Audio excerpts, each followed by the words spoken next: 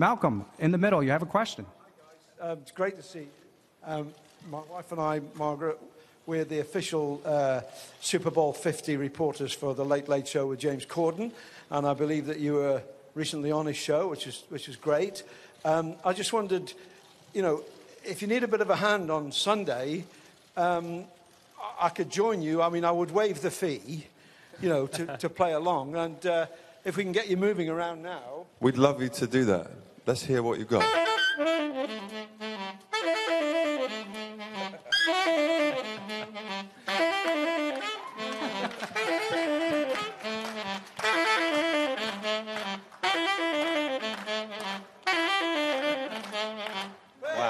Hey, very nice, Mr. Corden.